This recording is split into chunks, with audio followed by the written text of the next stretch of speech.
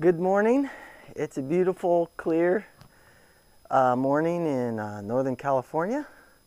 Uh, God bless America.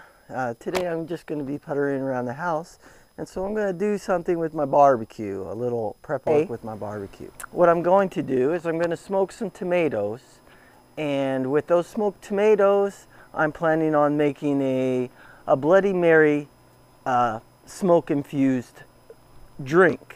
And uh, so let's get started with the barbecue.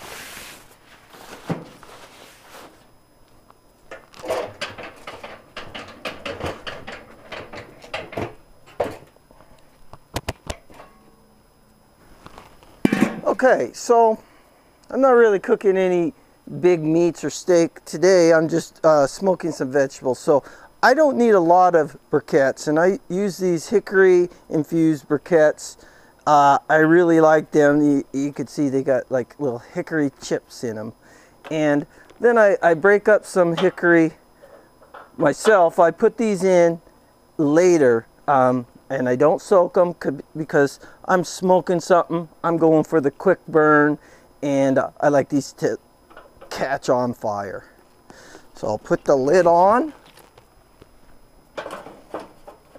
my cue and uh, put some fire to this.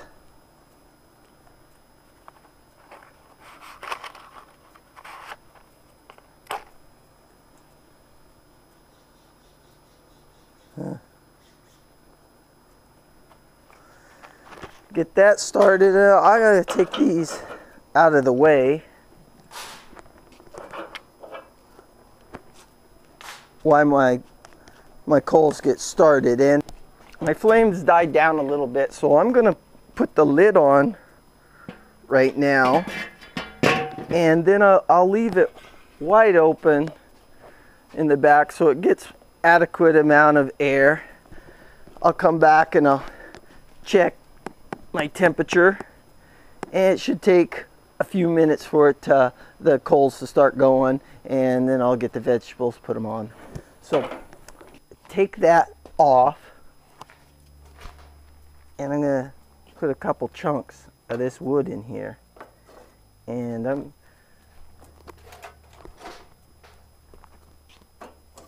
I'm gonna let that sit there open for a while till that wood catches on fire. Then I'm gonna I don't know if you could see it but I'm getting a good amount of smoke of my cooker. I think it's time to add the vegetables. These are my beautiful tomatoes picked from my garden. Just slice them open so they get a good dose of smoke. I'll put them in here. Look at that. Look at that smoke. All that flavor is going to get stuck into tomatoes and it's going to give a natural barbecue flavor to my Bloody Mary mix that I'm making. So I'm going to turn this down to where it's cooking relatively slow and I'll watch for fire and if it gets a little hot I'll turn it down to just one level but right now that'll suffice. We're gonna be multitasking so we're gonna smoke a little seasoning. Uh, the seasoning today is salt so we're gonna have some smoked salt. You just put it on there and uh, out of the heat and uh, stir it every once in a while and keep your lid on. Well, here's the smoked tomatoes, and as you can see, I uh, retained a lot of the fluid, and it, it's just reeking of a barbecue, and it's very smoky. I, I just need to peel off the skins of my tomatoes. Uh, they're still really hot from the barbecue, but as you see, it's a pretty easy process after they've been cooked to perfection to take it take the skins off. I'm going to need two hands, so I'm going to put the camera down.